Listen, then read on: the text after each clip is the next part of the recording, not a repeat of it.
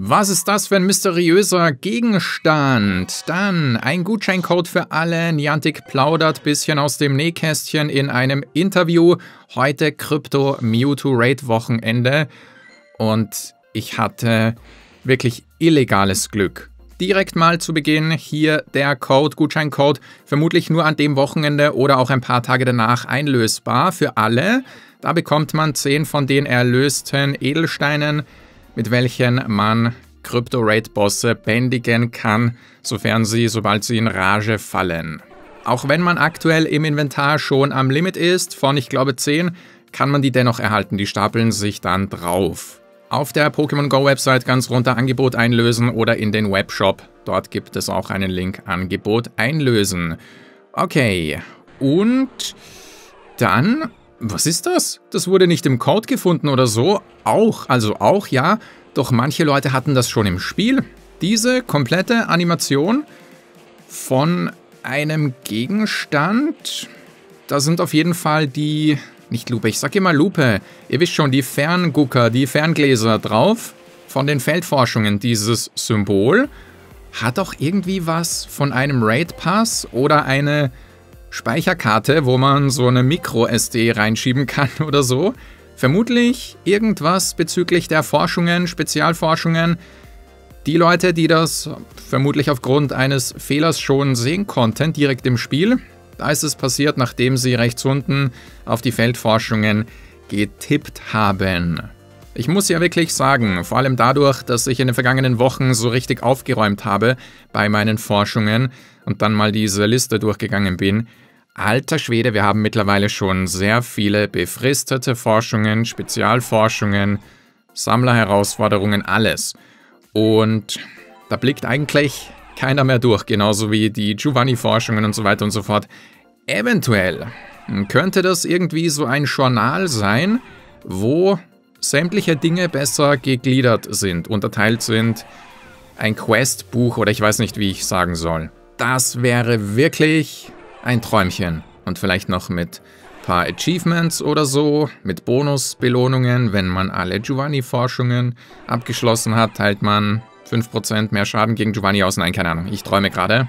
Irgendwie sowas in der Art finde ich jedoch genial. Sieht schick aus und hoffentlich ein feines Feature für Forschungen. Ich bin ein riesiger Feldforschungsfan. Ja, Apropos, ich bin auch ein Fan von meinem heftig-deftigen Crypto Mewtwo. Ich spann euch gar nicht lange auf die Folter. Ich konnte meinen Augen nicht trauen. Ich habe die WP schon gesehen und ich dachte mir, wartet mal, wieso haben meine alle so hohe WP? Beim Crypto Rate ist doch die Mindest-DV bei 666. Was ist da los? Und auf einmal bewerte ich und ich habe ein 98er Krypto Mewtwo. Leider Angriff auf 14, aber hey, kommt schon, das ist doch egal. Klar, wenn ich es mir aussuchen könnte, hätte ich eher 15 Angriff und 14 irgendein anderer Wert genommen. Aber das wäre nach der Lösung aber ein komplettes 100er. Werde ich nicht machen. Ich habe schon einige normale 100er Mewtwo. Und ja, nun bräuchte ich noch ein paar XL-Bonbons. Wirklich brutal. Und ein Shiny war heute am Samstag auch schon dabei, morgen Sonntag. Nochmal Krypto, Mewtwo. Doch ich glaube, ich bin bedient oder besser kann es ja gar nicht mehr werden. Ach so, und apropos Mewtwo Raid Wochenende, nutzloses Wissen am Rande. Heute, vor einem Jahr, hat Niantic die Fernrate-Änderung angekündigt hier. Wer nicht weiß, was früher anders war, man konnte unlimitiert aus der Ferne raiden. Na und die Raid-Pässe waren viel günstiger. Wirklich viel günstiger. Ja, und darüber spricht Ed Wu von Niantic auch unter anderem in einem Interview mit Eurogamer. Und das gehen wir hier nebenbei ein bisschen durch. Relativ lange, doch ich habe hier die meiner Meinung nach interessantesten Passagen rausgesucht. Es war auf jeden Fall kein wirklich kritisches Interview, aber der gute Ed Wu hat hier schon so ein paar Dinge verraten, die man entweder glauben kann oder nicht. Auf jeden Fall wird so ein bisschen über die nächste Dekade gesprochen. Forever Game. Bald acht Jahre Pokémon Go und viele der Änderungen, die momentan so im Hintergrund langsam ausgerollt werden, andere Fangbildschirme, je nachdem, wo man sich gerade befindet, in welchem Biom, dann die Avatar-Anpassungen. Diese Änderungen sollen das Spiel frisch halten, auch für das nächste Jahrzehnt in Pokémon Go. Eine Sache, die vor Wochen schon mit den Fanghintergründen angedeutet wurde von Niantic, wo ich noch immer nicht wirklich wusste, was wird oder was ist damit gemeint, was wird da passieren. Eine diversere Auswahl an Pokémon in der Wildnis, je nachdem, wo man sich befindet. Und hier wird ein wirklich lustiges Beispiel gebracht, wo ich am Anfang dachte, okay, ja gut, aber hm, Moment mal, wenn man so wirklich drüber nachdenkt, weil wir nun schon so viele unterschiedliche Pokémon haben, will man sich ein bisschen mehr darauf fokussieren, die Biome auszusuchen für diese entsprechenden. Etwa Gelatini, das Eis-Pokémon. Wieso sollte das nicht bei einem Eissalon auftauchen? Er sagt, in so gut wie jeder Stadt gibt es sowieso einen Eissalon. Und das finde ich eigentlich gar nicht so schlecht. Oder klar, der Hintergedanke wäre in diesem Fall bestimmt, vielleicht bekommen wir irgendwelche Eisgeschäfte dazu, dass sie sich einen gesponserten Pokestop kaufen, irgendwie sowas in der Art.